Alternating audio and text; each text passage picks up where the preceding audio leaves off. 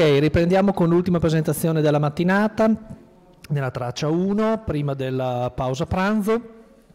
E con grande piacere che eh, saluto Vittorio Bertola che finalmente siamo riusciti a vedere in presenza all'incontro DevOps. Non rubo altri momenti alla presentazione. Prego, Vittorio, eh, raccontaci dei modi per controllare internet. Grazie. Sì, grazie. Buongiorno a tutti. Eh, sì, forse qualcuno di voi c'era due anni fa, spero. No? Quanti di voi hanno visto il, il, in remoto a questo punto il mio keynote di due anni fa sulla sovranità digitale, eccetera? Non molti, è, è positivo, io non mi ripeterò ovviamente, però i temi sono comunque abbastanza simili, quindi rivedrete alcune cose.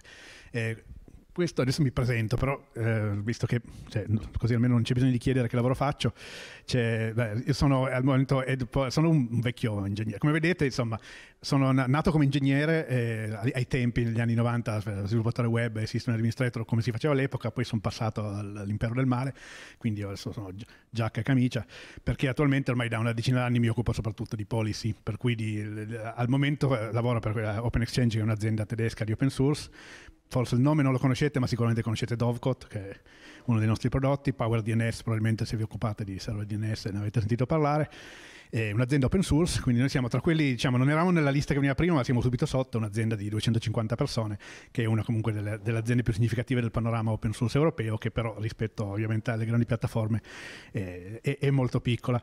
E quindi per, per, il resto, insomma, sì, avevo, ho una serie di esperienze passate di cui è meglio non parlare. Ieri, per fortuna al fine cena non mi hanno chiesto di parlare della mia esperienza in politica, quindi eh, abbiano perso l'occasione. Eh, prima di iniziare volevo solo dirvi questo, no, questo non sarà un talk molto tecnico, eh, diciamo dal titolo non so cosa vi aspettate, magari qualcuno si aspetta di vedere pacchetti che passano, eccetera. In realtà è un, è un talk generale per darvi un po' un'infarinatura di tutti i modi con cui diversi attori cercano di esercitare un controllo sulla rete. Questo perché chi si occupa dell'aspetto tecnico spesso intanto non, non, non, è consapevole di alcuni fenomeni, è consapevole dei fenomeni più tecnici, per cui se io vi chiedo come si controlla internet probabilmente tirerete fuori cose come appunto filtri DNS, controllo dei pacchetti, intercettazione, crittografia.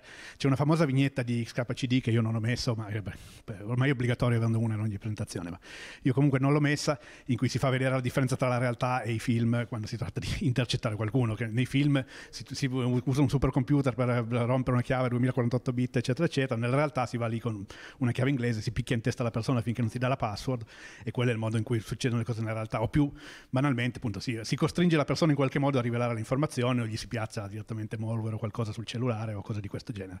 Per cui chi, chi affronta queste cose dal punto di vista tecnico è fissato con la crittografia ma la crittografia generalmente non è la soluzione cioè serve per una serie di cose ma non è l'unica soluzione e tipicamente non è neanche quella principale per cui a questo punto vedremo piuttosto una, carrellata, comincio dalla parte pubblica, insomma questo nella comunità open source eccetera è la parte che di, di solito cui si guarda di più. Cioè tutti hanno in testa lo scenario, dopo Wikileaks eccetera, dei governi dell'NSA americana che vuole intercettare tutti, schedare, e quindi questo è, diciamo, è, il tipo di attacco che tutti hanno in, in mente. Però le, il modo in cui la rete viene controllata varia molto a seconda del paese, per cui cominciamo dai paesi più chiusi. Allora, cominciamo dal paese con la rete più chiusa del mondo, cioè la Corea del Nord. Ora, in Corea del Nord non esiste neanche una vera internet, esiste una intranet, cioè l'intera nazione è su una rete 10.000 su indirizzi privati, cioè è chiusa dentro questa intranet anche i dispositivi che si collegano sono tutti controllati, per cui hanno propriamente i loro terminali internet che sono dei tablet Android eh, modificati, come, come, dico lì, insomma, sono modificati per tracciare ovviamente tutto quello che fai, poi uno ci pensa e dice esattamente come fa Google sui tablet Android normali, però lì invece di tracciare per Google tracciano per il governo coreano. E, e quindi questo approccio della cosiddetta Kwamyong, cioè rete grande luce perché siamo in Asia e quindi si parla sempre di questo genere di, di nomi e di concetti, e il concetto sostanzialmente di dare i servizi inter- internet perché ormai nessuna società, nemmeno la Corea del Nord, può vivere senza servizi ICT online, eccetera. Però di darli in maniera totalmente controllata. Quindi non, non c'è assolutamente nessuna voglia di dare alcuna libertà. Si, ovviamente vengono prodotti dei servizi internet nazionali che sono simili, allora io non sono mai stato e queste ovviamente sono cose riferite, c'è un italiano famoso, un hacker italiano famoso che c'è stato, e esistono servizi alternativi per tutto, quindi c'è la mail, c'è il motore di ricerca, però sono gestiti dal governo e controllano pervasivamente tutto quello che viene inserito, tutto quello che viene cercato e quello che viene mostrato alla gente. Quindi qui diciamo di, il controllo è abbastanza sviluppato praticamente su tutte c'è poca libertà. Lo step dopo è la internet nazionale, la famosa internet cinese. Allora non so qui quante persone siano mai state in Cina veramente, Eh, in realtà quando vai lì e ti connetti specialmente da straniero, specialmente in un albergo, sembra tutto quasi normale, però il loro concetto è che vogliono internet perché si rendono conto che è il motore dello sviluppo e la Cina non avrebbe avuto lo sviluppo oggettivamente pazzesco che ha avuto perché è un paese in cui 30 anni fa eh, per avere una bombola del gas dovevi corrompere qualcuno del partito, andare con la tessera, cioè, cioè era, era un regime comunista vero ancora negli anni 90 e adesso sono, se non la prima, la seconda potenza mondiale eh, in termini economici, in termini tecnologici, non ancora in termini militari, ma ci stanno quasi arrivando. Insomma, comunque hanno avuto una, una crescita, cioè un, un, paese di un miliardo e 200 milioni di persone che fa un cambiamento del genere, partendo da una popolazione che in gran parte zappa, ma neanche col bue che tira l'aratro, cioè con la zappa a mano, i campi, e in, in 30 anni diventa grattacieli, metropolitane, tecnologie, è una roba che non si è mai vista nella storia dell'umanità. E quindi insomma la gestione di questo, cioè, capisci anche perché hanno anche culturalmente il, tenta- il, desiderio di controllare un po' di più quello che succede e di non perdere il controllo di un, un miliardo e 200 milioni di persone, quanti sono. Quindi loro hanno, una, hanno una vera internet che funziona come l'internet, però è un'internet separata. Quindi sostanzialmente c'è la loro rete e poi questa roba ha relativamente pochi punti di contatto col mondo che vengono controllati. Cioè, si parla del famoso Great Firewall of China, cioè ci sono appunto dei, dei, delle cose che vengono bloccate, delle cose che vengono magari rallentate, per cui alle volte non è che non, tu non possa accedere ai servizi occidentali, americani, eccetera, però funzionano talmente male perché sono rallentati che, che alla fine usi quelli cinesi perché comunque funzionano bene, sono immediatamente lì.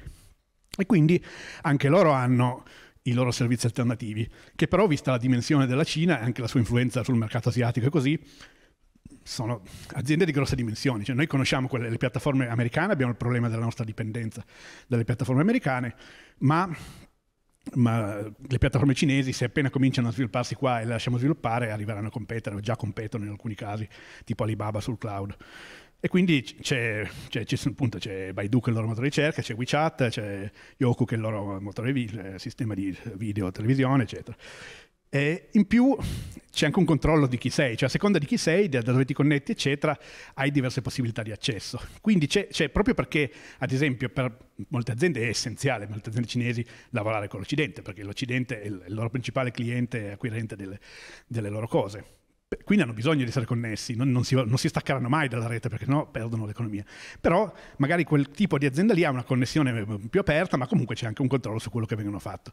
In più eh, c'è un'azione politica forte per cercare di spingere questo modello di controllo sulle future architetture di rete. Per cui se voi andate all'IETF, all'ITU, in queste organizzazioni, ci sono i cinesi di, di Huawei e di altre aziende che spingono questa idea cosiddetta del new IP, che è sostanzialmente una revisione del protocollo IP per introdurre dei punti di controllo un po' più codificati proprio a livello di routing dei pacchetti, a livello di protocolli di trasporto. E questa per esempio è una foto che ho fatto io l'ultima volta che sono stato a Pechino a gennaio 2020 e come vedete, adesso non vedrete molto, ma comunque alla reception dell'albergo c'è un bel cartello che ti dice questi URL Facebook, YouTube, Twitter, Google sfortunatamente non sono accessibili da questo albergo, ma sotto pote, puoi usare Baidu, Youku, eccetera. Quindi è, è anche, la cosa è anche abbastanza aperta. Poi tu, cioè in passato io sono uscito a tirare sulla VPN sperando che non mi arrivasse un poliziotto, non è mai arrivato. Quindi credo che specialmente per gli alberghi eh, ci sia una certa tolleranza, però di fatto tu non puoi collegarti. Questo modello piacerebbe tanto anche a una serie di altre nazioni, solo che non se lo possono permettere. Allora abbiamo tutte queste nazioni, diciamo, intermedie, cioè la Turchia, l'Iran, questo tipo di posti, persino l'Indonesia. Cioè, che sono parte dell'inter globale, diciamo occidentale, cioè, dire, non sono dentro il firewall cinese. Tutto il resto del mondo sostanzialmente è abbastanza interconnesso. Però anche loro cercano un po' di isolarsi dal mondo, di controllare gli scambi e usano uno dei vari metodi. Allora, non, non credo, poi se volete magari nella parte di domande possiamo spiegare meglio la differenza tra eh, fare un blocco sul, sul firewall a livello di IP o di BGP, eccetera, o di DNS, che è quella parte che conosco meglio. Quindi, o guardare l'SNI, che è, il, che è l'unica parte in chiaro delle connessioni HTTPS, anche se pareva essere cifrato anche quella sparirà pure quella. Eh, oppure bloccare gli NS, cioè ci sono tutta una serie di trucchi che si possono fare per cercare di bloccare l'accesso a dei contenuti. E, e loro li usano, cercano di bloccare le VPN, di, insomma, hanno delle liste di fornitori VPN internazionali che cercano di bloccare per indirizzo IP e tutto questo tipo di cose. E sfortunatamente questo tipo di cose, se tu non hai una grande capacità tecnologica, non funziona molto. Perché intanto ci va una certa potenza di calcolo, perché tu devi controllare tutte le richieste, tutto quello che passa, eccetera. Allora la Cina se lo può permettere, l'Iran forse non tanto. E quindi il, quello che spesso succede è che se tu vai in questi paesi, provi a usare internet a collegarti con le cose occidentali, magari non, alcune cose sono bloccate, altre cose non sono bloccate, ma è tutto lentissimo perché dovendo avere dei server che controllano tutto questo traffico, sono sovraccarichi non si va da nessuna parte. Per cui spesso tirano sulle VPN non tanto per bypassare i blocchi, ma per riuscire ad avere una velocità decente, perché la VPN con un canale cifrato non, non passa su questi controlli e quindi non, non si intasa e riescono a navigare. E, e, quindi insomma fanno un po' quello che possono, però uno dei dati appunto che, che, spesso si riporta è che da quando la Turchia ha messo un blocco su Wikipedia, il numero di articoli della Wikipedia turca è aumentato del 20%, quindi evidentemente qualcuno dalla Turchia riesce comunque a arrivarci a scrivere articoli e a fare cose. Quindi se, se, non, mezzi, se non sei la Cina, diciamo, questo tipo di blocchi non funziona un po' così, insomma meglio che niente, ma... E poi c'è il paese a metà del guado, che è la Russia, di cui tutti abbiamo sentito parlare recentemente. Sicuramente avrete letto questa cosa che la Russia si sta staccando da internet che è una roba forse un po' esagerata o poco compresa, però la Russia è da anni che lavora per essere indipendente, perché probabilmente la Russia ha pianificato diciamo, l'attuale situazione da una certa quantità di anni. Quindi, ad esempio, da un paio d'anni la Russia si è fatta una, una sua copia indipendente dei, dei, root del DNS, cosa che può fare chiunque, eh, perché sono la, la, la, zona è pubblica, se volete farvi una copia voi, c'è persino una RFC che descrive come fare uno, una copia automatica del root e tenerla lì e usarla. Però insomma, eh, adesso stanno spostando quello che, diciamo, quello che è uscito, la famosa lettera con cui la Russia dice a tutti di staccarsi da internet, in realtà è, un, è, una lettera in cui la Russia dice a tutte le, le, le, sue uh, pubbliche amministrazioni che da domani devono avere tutti i server ospitati in Russia, perché il problema è che la Russia in realtà si è integrata parecchio con la nostra infrastruttura, quindi ci sono tantissime aziende, anche eh, enti pubblici russi che hanno la roba su AWS, su Google, eccetera. e per loro questo in questo momento è un certo problema perché gli viene staccato tutto e quindi eh, di lì l'esigenza dal loro punto di vista di, di, spostare tutto dentro la Russia, cosa che peraltro vale anche in Europa, anche l'Europa sta cercando di spostare tutto su, su, su, su, host europei, per lo stesso motivo, perché noi speriamo di non essere mai in guerra con gli Stati Uniti, non, non penso che succederà, però le tensioni geopolitiche purtroppo stanno aumentando e quindi prima di avere qualcosa che magari ti blocca tutta l'economia e la società è il caso di prendere delle precauzioni e assicurarti di essere autonomo e indipendente. E la Russia però a un certo punto ha provato a filtrare, è arrivata a bloccare appunto interi pezzi di AWS per cui non funzionava più niente, milioni di siti bloccati come vittime collaterali. Alla fine sono tornati indietro perché si sono resi conto che così ammazzavano il loro commercio e le loro esportazioni e quindi adesso hanno, sono un po' in una via di mezzo, hanno diversi servizi loro, hanno VContact, eh, di cui forse avete sentito parlare, però usano anche tanto i servizi nostri che adesso non sono più disponibili. Purtroppo quello che è successo, purtroppo nel, in termini diciamo forse di lungo periodo, li porterà probabilmente a, usare, a smettere di usare i servizi occidentali e cominciare a usare quelli cinesi. Eh, però insomma la situazione è quella che altre cose tipo il sistema di pagamenti non ce l'hanno e quindi adesso con, essendo chiusi da Swift hanno una certa difficoltà. Poi veniamo alle, insomma, alle cosiddette nazioni occidentali democratiche, eh, cosiddette, ma in realtà democratiche sì.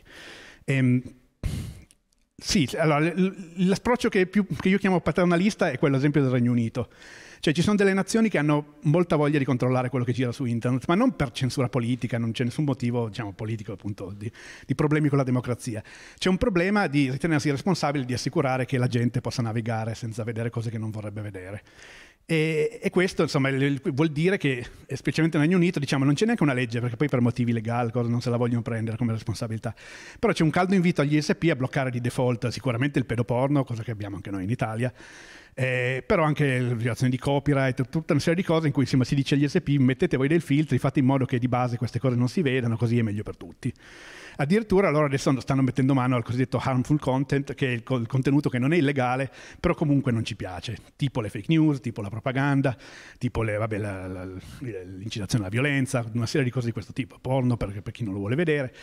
E quindi c'è tutto un regime diciamo, di, di, diversi tipi di, di, contenuti, alcuni più da bloccare completamente, altri da diciamo, rendere bloccabili magari opzionalmente, che vengono, che vengono, diciamo, vengono bloccati dagli ISP su pressione del governo. Eh, noi siamo abbastanza nella stessa situazione, perché se voi operate un server DNS c'è una ling- lunga lista di domini, noi abbiamo i blocchi soltanto per la parte illegale, tipicamente per gioco d'azzardo illegale e questo genere di robe, eh, o per violazione di copyright, roba diretta, e Pirate Bay e questo genere di robe, che sono filtrate un po' in, in tanti paesi, devo dire. Cioè la situazione a livello europeo e questa è una situazione diciamo di internet regolata, cioè l'approccio dell'Unione Europea a questa roba è noi vogliamo la internet globale, non vogliamo nessun filtro, non vogliamo nessun firewall, vogliamo... però vogliamo metterci un sacco di regole, perché la nostra la, la specificità, cioè i cinesi sono bravi a fare l'hardware, gli americani sono bravi a fare le piattaforme e noi siamo bravi a fare leggi, questa è l'idea della, della Commissione Europea. E quindi noi ci facciamo la GDPR, che effettivamente è una cosa che ha fatto l'Europa, che ha cambiato internet su scala globale, non dal punto di vista tecnico, ma dal punto di vista in cui funzionano molte cose. Adesso abbiamo NIS e NIS, NIS 2, che è la versione nuova, che sono obblighi di cybersicurezza, quindi per chi fa operazioni anche sono cose che è bene sapere, se fate una serie di servizi, tra cui DNS, eccetera, che sono riconosciuti come servizi essenziali, avete degli obblighi, di, eh, avrete quando sarà poi tradotta la, la direttiva in legge nazionale, degli obblighi piuttosto forti di cybersicurezza. Ehm, e poi c'è ad esempio il DSA sulla dimensione dei contenuti, insomma c'è tutta una serie di leggi nuove, anche nuove che stanno arrivando. Il blocco dei contenuti, questo è importante, è una materia nazionale, quindi l'Europa a livello di Unione Europea non ha nessuna competenza per dire blocca questo, non bloccare quello.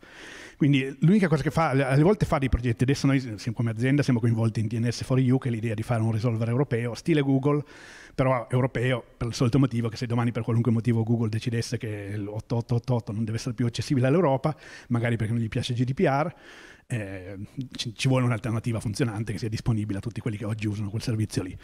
Eh, però anche questo non è mirato, cioè, sono uscite delle voci in giro, in realtà non è assolutamente mirato a censurare la rete, bloccare contenuti, è solo una materia di autonomia digitale. Questo perché appunto ogni nazione decide per sé che cosa si, può, si, si deve bloccare. Ci sono nazioni come la Germania o l'Olanda dove non si blocca quasi niente, magari si blocca qualcosa per motivi di copyright se ci sono delle cause in corso. Ci sono tante altre nazioni invece che bloccano qualcosa di più. Poi ci sono delle cose strane, tipo appunto in Germania puoi ricevere una lettera che ti chiede 1000 euro perché secondo loro avevi un sito di torrent, ospitavi uno scarico di torrent cose così, poi va in causa. Comunque, finiamo con gli Stati Uniti. Gli Stati Uniti in teoria sono la patria dell'internet libero. Loro ti dicono, noi censura zero, tutto è censura, non si blocca niente. In realtà sono la patria dell'internet libero per sé, nel senso che loro hanno il primo emendamento e quindi questa è una forte protezione, è quasi difficile, quasi impossibile filtrare qualcosa in America. Ci si riesce magari per motivi di soldi, con cause, eccetera. Però di fatto loro usano la rete anche per influenzare il resto del mondo. Per cui abbiamo visto il caso famoso di, dell'ordine presidenziale di Trump contro Huawei.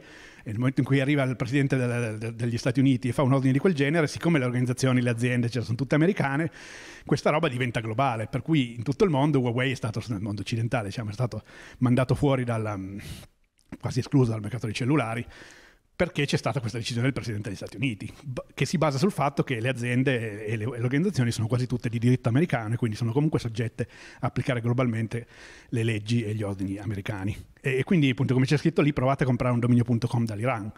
Eh, non sono autorizzati a, il, il, il, il, registro, il registro ultimo VeriSign è americano e non è autorizzato a fornire un servizio perché c'è un embargo. E lo stesso con i certificati, stesso, c'è una possibilità del Ministero della Giustizia di sequestrare domini, così eh, insomma, quindi i sistemi di pagamento, come si è visto adesso, insomma, sono, gli Stati Uniti hanno degli strumenti che gli permettono di controllare la rete a livello globale e questo è un, è un problema riconosciuto che talvolta emerge insomma, con la richiesta di idee, americanizzare le istituzioni eh, di, di, internet, qualcosa si è fatto in questo senso, però è un problema aperto anche per l'Europa, su cui l'Europa sta ragionando. E qui infatti veniamo alle istituzioni globali di internet. Adesso questa non la vedrete perché eh, forse è troppo piccola, è la lettera che due o tre settimane fa ha mandato il vice premier dell'Ucraina a ICANN. ICANN è l'organizzazione che gestisce DNS, le policy del DNS a livello globale in cui chiedevano sostanzialmente di spegnere il .ru, il .rf in cirillico, il .su che esiste ancora, e, e chiudere i, i, root del DNS e tutta una serie di cose che secondo loro avrebbero tagliato fuori veramente internet, cioè hanno chiesto sostanzialmente che sia l'Occidente a staccare la Russia da internet. Al che diciamo, gli è stato gentilmente ma uh, correttamente risposto di no. E questo per, per, tanti motivi, ma forse perché queste istituzioni, appunto, pur essendo americane di base, poi noi abbiamo RIPE per gli indirizzi che è olandese, però ICANN alla fine è un'organizzazione di diritto americano eh, controllano meno di quel che si pensi, cioè il sistema dei root DNS non dipende direttamente da ICANN, hanno, gli operatori del root DNS hanno un accordo con ICANN che dice che loro metteranno i domini che gli dice ICANN, però eh, alla fine se decidessero di fare qualcosa di diverso, non è che, specialmente quelli non americani, non è che succederebbe granché. E poi il root DNS si può riprodurre come hanno fatto appunto i russi, si, si può ancora manipolare il routing degli indirizzi anche se si sta cifrando, c'è tutta un'infrastruttura di autenticazione delle root, ma vabbè, in generale c'è una certa riluttanza, fortunatamente da parte dell'ambiente della governance di internet, a trasformare la rete in un'arma. Quindi si cerca di non...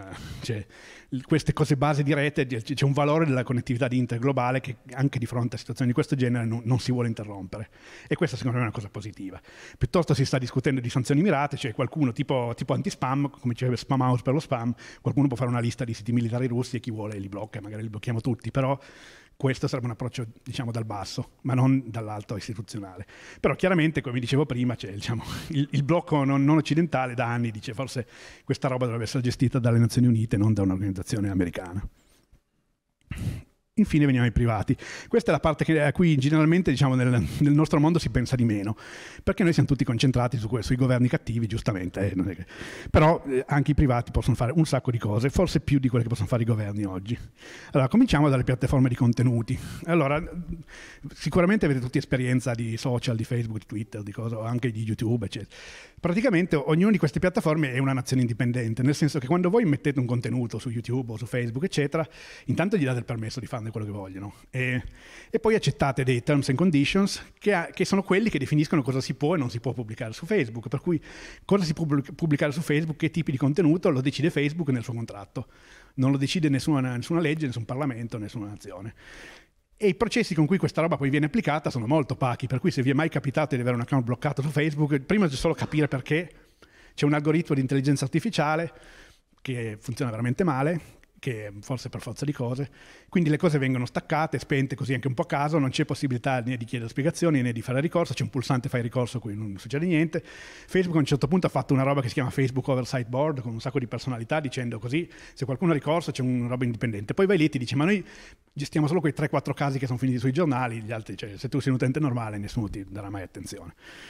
E, in fondo alla politica fa bene così, nel senso che cioè, io adesso sono coinvolto nelle discussioni a Bruxelles sulle nuove regolamentazioni europee, una delle nostre battaglie come industria open source è ottenere un obbligo di interoperabilità per i social e per l'instant messaging, cioè che WhatsApp e Facebook debbano aprire interfacce e permettere client alternativi, permettere di interagire con altri sistemi paralleli, insomma.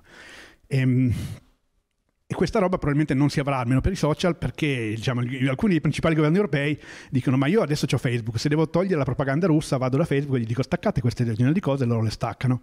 E funziona così. E ehm, se cominci ad avere 10-20 sistemi social network interoperabili, stile Mastodon, con server ovunque, eccetera, e magari operati da gente che non mi sta neanche a sentire, io come faccio a far togliere queste cose che non mi piacciono?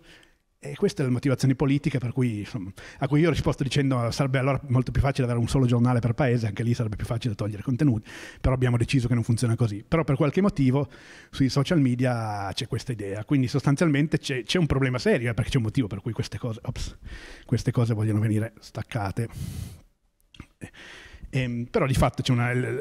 Certo allo stesso tempo la politica si preoccupa, per cui quando è successo il caso che Trump ha staccato, cioè Twitter e Facebook hanno staccato Trump, un presidente degli Stati Uniti comunque in carica, eletto, eccetera, lì anche la Merkel che all'epoca era in carica ha detto forse questa non è una grande idea, perché se una piattaforma privata può spegnere un, un presidente di un paese, il primo paese del mondo, almeno in termini di dimensioni economico-militari, ehm, Insomma, quindi c'è, c'è un problema del, del, potere di queste piattaforme che è riconosciuto anche dalla politica. Stessa cosa per i motori di ricerca, perché il motore di ricerca forse voi pensate che sia tutto bello asettico e oggettivo, ma in realtà ha un ordinamento che decide lui. Se lui decide che un certo sito invece di essere nella prima pagina va anche solo nella seconda o nella terza o nella quinta, quel sito sostanzialmente perde il 90% del traffico. E, e anche su Google non è che non spariscano le cose, cioè, a parte diciamo, i casi in cui sono stati multati per autopreferenza, per cui i risultati dei loro stessi sistemi venivano prima, ecco. ma come vedete lì dal, dal, report di trasparenza di Google eh, è stata chiesta la rimozione da Google di 5 miliardi 627 milioni di indirizzi nella, nella storia di Google ormai, però comunque è un discreto numero. E ci sono tanti motivi per cui queste cose vengono bloccate, tipo per violazione del copyright, tipicamente di MCA americano e adesso anche cose europee, il diritto all'oblio della, della GDPR, o il safe search che è la modalità di, di, Google di nascondere porno e robe diciamo, inadatte, eh, contenuti non tanto adatti e anche lì se per caso il vostro sito viene giudicato porno anche se non lo è, eh, capire come farsi togliere è quasi impossibile, per cui diventa anche questa una, ro- una roba totalmente arbitraria gestita da un privato. E quindi, infatti, come vedete, ci, ci sono, se andate a cercarle, ci sono tante notizie nelle news di accordi di questo genere. Cioè, intanto Google appunto che da una parte eh, difende, cioè, si presenta giustamente come piattaforma anche di apertura, di libertà non censurata, ti dà il DNS non filtrato, quindi puoi bypassare tutti i blocchi dei provider italiani del governo italiano, perché poi però quando arriva diciamo, il rischio di una causa chiude tranquillamente, fa sparire PyRPay dai risultati di ricerca e così via. Eh, Facebook uguale, c'è stato un famoso caso di, di, accordo tra Facebook e il governo vietnamita in cui ha fatto, Facebook ha fatto veramente quello che dicevo prima, cioè il governo vietnamita però lì veramente in, diciamo, in, contro l'opposizione politica gli ha detto ma noi vorremmo che questo tipo di cose non si vedesse e questo tipo di cose pur, pur di poter fare business in Vietnam Facebook le ha fatte sostanzialmente sparire. E, e, spesso queste piattaforme hanno una doppia faccia, cioè in, in, Occidente difensori della libertà, eccetera, nei paesi autoritari, pur di entrare nel paese e avere un mercato, accettano qualunque cosa il governo locale gli, gli, gli chieda.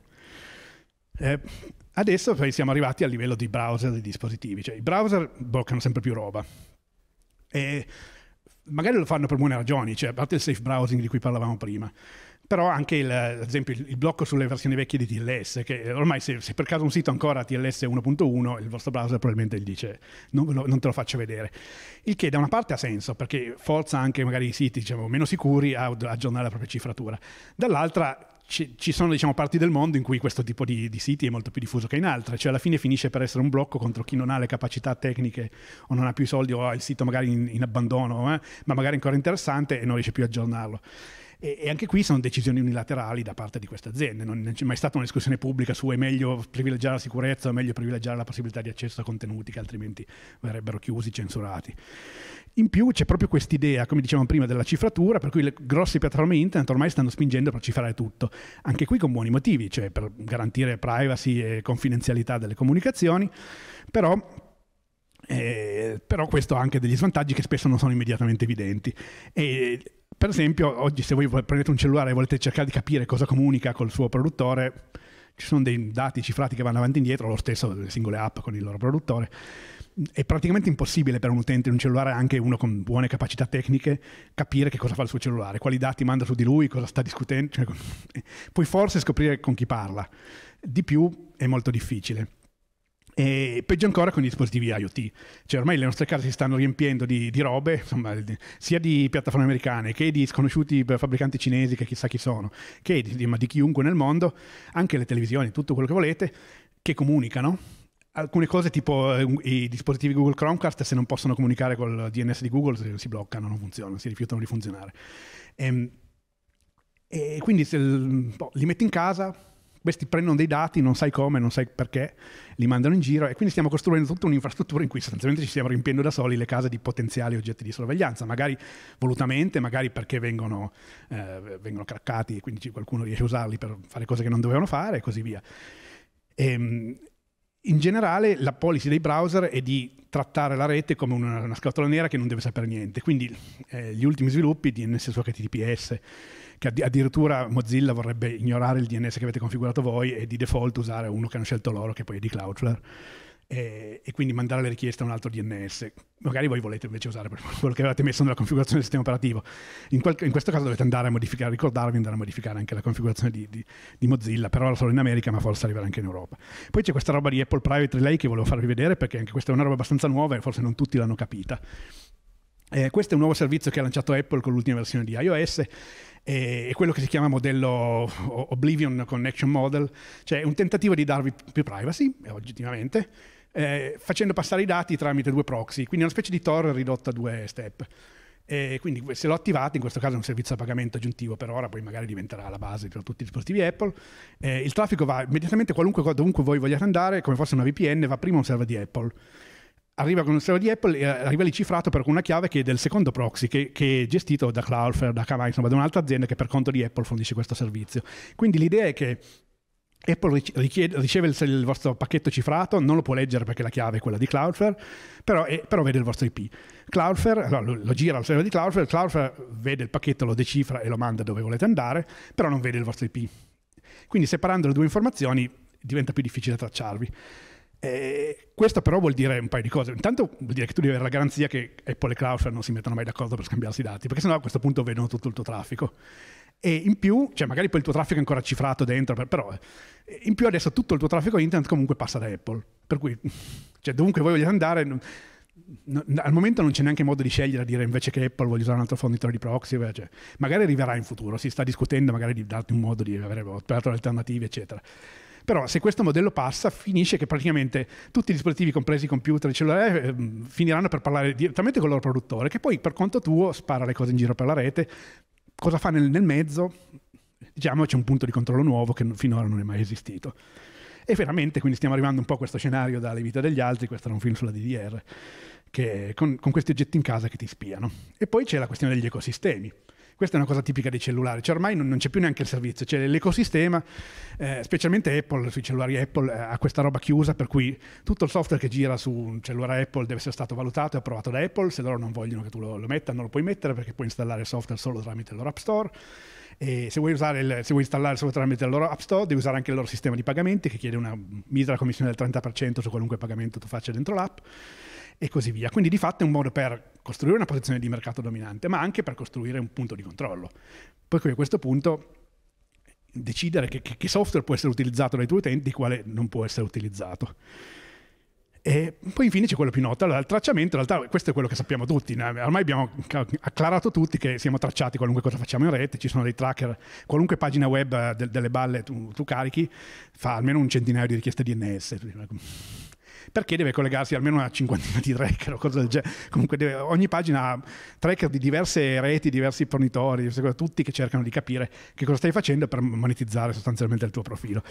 E ci sono delle leggi che in teoria dovrebbero proteggerti, eh, vengono girate, ci sono i famosi dark pattern che sono quei, quei pop-up che ti dicono vuoi eh, consentirci di migliorare il servizio con un grosso pulsante sì che lampeggia e un piccolo scritto no si sta lavorando per vietare queste robe a livello europeo, però intanto sei sempre a inseguire questo genere di comportamenti. E, in più, appunto, ormai se, se, se, se, passiamo al modello che dicevamo prima, in cui tutto passa dal cloud, dal, del produttore, eccetera, non puoi neanche più difenderti. Cioè, oggi io posso installarmi, se voglio, un Pyrol in casa come server DNS e mi filtra via i tracker, la pubblicità e queste cose. Domani, se, non mi lascia, se i dispositivi non mi lasciano neanche usare, scegliere il DNS per il mio e vogliono usare il loro, probabilmente non riuscirò più a fare questo. C'è chi dice che questo sia anche il motivo per cui Google fornisce il DNS gratis a tutto il mondo. Eh. Però, insomma, diciamo che c'è, c'è, una questione strategica su queste cose che è legata anche al, al desiderio che la pubblicità non diventi più bloccabile e il tracciamento uguale. Poi vabbè, abbiamo interi stati europei che si presentano alle riunioni regolatorie sostanzialmente riprendendo i comunicati stampa di Facebook o di Google perché hanno la sede europea lì e per loro è un sacco di soldi, di, di tasse, eccetera. Quindi questa è la vera battaglia, c'è il vero lobbying anche a Bruxelles che vediamo e su queste cose qua. Cioè il resto sono divertimenti, diciamo. In più poi queste piattaforme collaborano con i governi, quindi tu dicevi, ma ci siamo liberati i governi, almeno con la, con la cifratura ci liberiamo dai governi, abbiamo solo il problema delle aziende. In realtà, come abbiamo detto prima, queste aziende spesso sono ben disponibili a, a parlare con i governi, sia quelli democratici che quelli autoritari, per scambiare informazioni quando gli serve per il loro business. Per cui in, intanto se sono americane sono soggette al Cloud Act, che è una legge americana che dice che qualunque azienda americana abbia accesso a dati di cittadini non americani, quindi tutti tranne gli americani, anche se sono su server fuori dal, dal, suolo americano, però se ha accesso a questi server è tenuta a dare queste informazioni su richiesta alla CIA, all'FBI, all'NSA, insomma, a qualunque agenzia di law enforcement americano. Quindi se voi usate una, un, un fondatore americano siete in questo caso. Poi diciamo, le grosse piattaforme vi dicono ma noi abbiamo fatto eh, la, la, sussidiaria basata in Irlanda che non è americana, quindi non soggetto, però se questa roba possa reggere non si sa. Infatti il, il garante della privacy europeo sostanzialmente ha detto a tutte le pubblicazioni, amministrazioni europee non usate più nessun servizio che non sia europeo. Eh, al momento esportare dati dall'Unione Europea agli Stati Uniti è illegale secondo la GDPR nella maggior parte dei casi, quindi e se no c'è il malware di Stato, che è un'altra cosa che viene fatta con la collaborazione anche di alcune di queste piattaforme, quindi ti installo un malware sul cellulare e ti, e ti traccio così. Poi c'è la messaggistica. Anche qui la messaggistica è di fatto un modo di controllare la rete, perché la, la mail è una roba che per fortuna è ancora abbastanza distribuita, ma abbiamo Gmail e Hotmail che fanno da soli tipo metà o più degli account del mondo. Se voi avete un piccolo provider e provate a interfacciarvi con Gmail, è facile che ogni tanto vengano bloccati i messaggi, anche qui senza motivi apparenti, trattati come spam, senza possibilità di ricorso e così via. E poi non parliamo invece di WhatsApp, di servizi chiusi, concentrati, in cui per quanto ti diano end-to-end encryption, però l'end-to-end encryption è tra la tua app e l'app dell'altro, quindi l'app ovviamente il messaggio ce l'hanno cifrato, quindi in teoria potrebbe fare quello che vuole, leggerlo, analizzarlo, eccetera. Quindi la sicurezza di questi, cioè end-to-end encryption dovrebbe essere tra i tuoi occhi e, le, e le mani del, dell'altra persona. Questa qui non è veramente end-to-end encryption. Poi c'è la connettività. Allora, che, che, i provider possano spiarti, lo, lo sappiamo tutti, che ci sono problemi, va bene, non credo ci sia bisogno di ribadirlo in realtà non lo possono più fare da quando è tutto cifrato, quindi questa parte qui, bene o male, sta andando via. Eh, però ci sono intere parti del mondo in cui la connettività è fornita anch'essa da queste piattaforme, cioè nessuno forse sa che in Africa Facebook ha un progetto per dare internet, solo che invece di dare internet gli dà Facebook, per cui c'è, c'è metà delle nazioni africane in cui internet uguale Facebook. E quindi in cambio della connettività gratis, ovviamente Facebook decide cosa vedono queste persone, che servizi usano ed è molto difficile. Se voi andate a cercare questo sito internet.org, poi diventato Facebook Basics, è, è, quasi impossibile sapere in quali nazioni sono presenti, che, che cosa fanno esattamente, che servizi danno. Non lo sa nessuno, forse dovremmo andare in questi paesi a chiedere che tipo di internet gli stiamo dando. E poi il problema finale è che queste piattaforme sono sempre le stesse. Quindi uno dei problemi grossi del, diciamo, del, controllo, del tracciamento della rete è che se tu vedi una informazione è un'informazione, ma se tu ne vedi 10 su 10 canali diversi e le puoi incrociare, allora veramente puoi fare un profilo delle persone, puoi tenerle sotto controllo. E purtroppo il fatto che queste che siano adesso le 4, una volta erano le 5 più grandi aziende quotate del mondo, adesso Meta ha avuto un tracollo, quindi non è più è tipo al sesto, settimo posto adesso, è stata superata da Tesla ed altri. Eh, però comunque queste sono le aziende più grosse del mondo, hanno del, una capitalizzazione di mercato comparabile col PIL della Francia o della Germania. Adesso no, Apple ha raggiunto più o meno il PIL della Francia, poi fra un po' magari arriverà quello della Germania. E, ehm, hanno un potere economico e anche di pressione politica, eccetera, enorme e quindi, c'è, c'è, e quindi, in questo modo possono esercitare tutto il controllo che vogliono. L'ultima cosa che volevo dire sono gli utenti, anche gli utenti avrebbero controllo, perché alla fine dovremmo essere noi che abbiamo il controllo della nostra connessione internet. In realtà diventa sempre più difficile che tu voglia fare appunto il blocco parentale perché hai dei bambini in casa e non vuoi fargli vedere certe cose, che tu voglia bloccare, sei un'azienda non vuoi che i dipendenti usino Facebook in orario di lavoro, la privacy, tu vuoi bloccare la pubblicità, diventa sempre più, più, difficile. Paradossalmente puoi avere questi servizi se paghi le stesse piattaforme che ti tracciano per non tracciarti o cose del genere, per darti servizi di, di questo genere. Allora, io adesso avevo una serie di, di, due o tre slide, però sostanzialmente la soluzione dovrebbe essere un mix di, di tecnica e di regolamentazione. Quindi purtroppo è una roba che non si può, tutto questo scenario non si può risolvere, non si può risolvere soltanto con misure tecniche, e non si può risolvere soltanto con misure di policy. E quindi è necessaria una collaborazione tra chi può fare regole almeno in Europa e chi può fare gli sviluppi tecnici. Sostanzialmente l'idea è che tu devi, dovrebbe, dovremmo tornare ai principi di internet, avere di nuovo una internet interoperabile, modulare, in cui tu puoi scegliere i singoli blocchi di fornitura senza essere chiuso dentro un sistema che ti fornisce tutte le app e tutte le cose insieme senza poterle separare e, e, e, sostanzialmente arrivare a uno scenario in cui invece di avere ad esempio 10 app di messaggistica ne ho una e con quella posso parlare con tutti, con tutte le altre reti di messaggistica e non ho bisogno di averne tante. Quindi grazie, adesso a questo punto possiamo passare alle domande.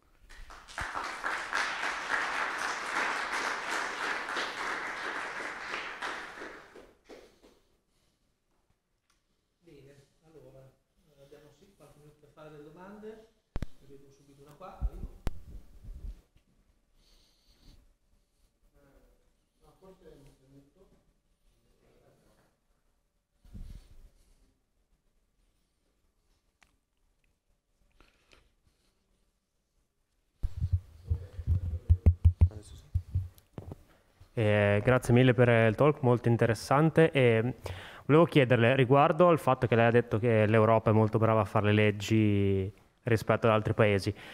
Non c'è il rischio che a volte queste leggi possano avere l'effetto contrario di quello che ci si auspica. Nel particolare mi riferisco ad esempio al GDPR per i cookies. Adesso tutti noi vediamo i messaggi, i cookie accetta non accetta. L'utente medio clicca accetta sempre Ancora peggio cosa succede? Che magari la stessa pagina mi si refrescia la cache, mi si ripete mille volte quel messaggio, arrivo addirittura a cercare un'estensione per il browser, sì, sì. la prima che trovo che lo faccia per me in automatico e questa estensione in realtà potrebbe essere anche super rischiosa, potrebbe tracciarmi ancora di più di quello che mi aspetto. Quindi non è che c'è poi alla fine un eccesso di prevenzione che può avere esattamente l'effetto contrario? Grazie. Sì, io ero, ero, abbastanza sarcastico, nel senso che in realtà la GDPR è una buona cosa e devo dire il risultato di 30 anni di lavoro anche col compianto professor Rodotà e altra gente, perché comunque deve avere la legge, il principio lo deve avere. Quello che è sbagliato, secondo me, su cui sbaglia la, la Commissione europea è che invece di sta, stabilire semplicemente il principio e trovare il modo di avere poi una, una, gestione tecnica che permetta di dare delle direttive tecniche che cambiano continuamente, non delle leggi che cambiano una volta ogni vent'anni, e di farle rispettare, e farle rispettare è la parte più difficile su cui nessuno ci è riuscito.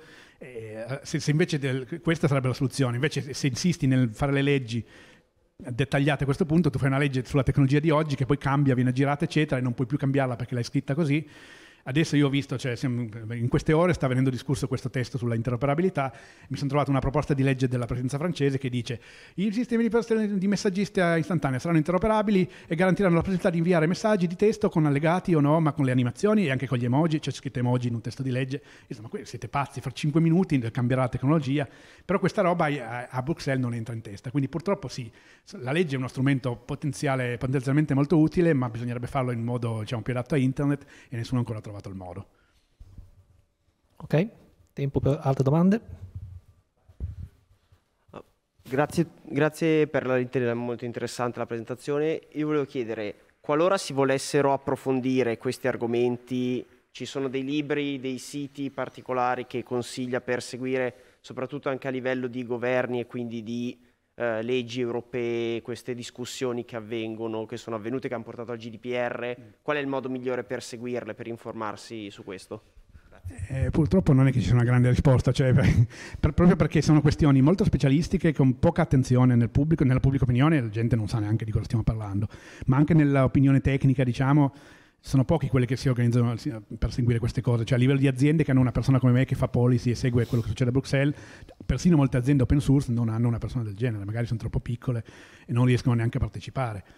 Per cui questa campagna di interoperabilità l'abbiamo fatta tre aziende, cioè noi Open Exchange, Proton e Element, che sono quelli che stanno dietro a Matrix. Sostanzialmente sono le uniche tre aziende che ci hanno messo una, un po' di tempo per stare dietro a queste cose.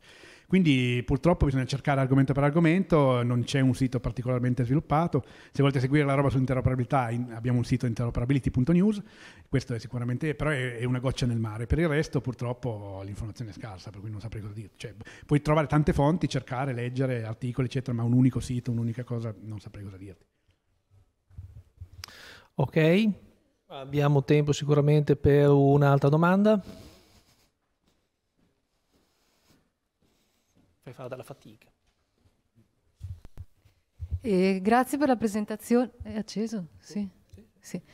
È molto molto interessante. Io volevo sapere, nel caso dell'internet totalmente libero, esiste comunque la censura? Cioè immagino che un uh, sito internet che vende in qualche modo materiale pedopornografico sia perseguibile. Come funziona la censura dove la censura non è regolamentata? Allora, il problema Solo è pressione economica? Diciamo. il, il, il problema è questo ci sono delle cose chiaramente illegali, cioè ospitare contenuti pedopornografici è illegale. Il problema è che se, se, il sito è in Italia io posso mandargli i carabinieri, staccare fisicamente il server, ma raramente questo succede, purtroppo, proprio perché siamo una rete globale, probabilmente questo sito che fa scaricare pedoporno a utenti italiani o è sul computer craccato di qualcuno da qualche parte del mondo, e questo è un altro problema, oppure è ospitato magari in, non voglio fare nominazioni, ma diciamo nazioni asiatiche o nazioni, cioè posti dove comunque non c'è una collaborazione efficiente con le forze di polizia, o magari posti dove questo contenuto è legale, adesso il, il pedoporno è illegale dappertutto, ma noi abbiamo, per dire, il caso dei siti di, di, di azzardo senza, che non pagano la licenza, non pagano tasse in Italia, ma sono, sono, a Malta, non è che sono dall'altra parte del mondo, sono nell'Unione Europea. Però non essendoci un accordo, i siti di Malta sono illegali in Italia perché non hanno licenza italiana e noi li dobbiamo bloccare. Allora in questa situazione purtroppo l'unica cosa che può fare una nazione è bloccare l'accesso ai propri cittadini, quindi trovare un modo di controllare la rete sul proprio territorio in modo che dal proprio territorio non si riesca ad andare lì. E questa purtroppo è l'esigenza tecnica legata al fatto che siamo ancora un, un mondo diviso in 200 nazioni con standard diversi, per fortuna. Eh. Eh, insomma, quindi c'è bisogno di una possibilità di controllo di internet a livello nazionale che non è mai stata prevista nell'architettura della rete. Quindi il risultato è che poi si usano questi mezzi tecnici che non sempre funzionano, alle volte funzionano troppo, si fa quel che si può, come c'era scritto su una slide. Ok, direi che visto che a luna si può passare alla pausa pranzo, mi hanno detto di ricordare che adesso all'entrata mostrate il badge, se qualcuno appunto ha bisogno di certi eh, regimi alimentari lo dica al MET eh, di sala, per il resto ci rivediamo alle due e un quarto o in questa o nell'altra sala per il proseguo con le sessioni del pomeriggio e di nuovo grazie Vittorio per grazie la bella presentazione. Per aver ascoltato, grazie.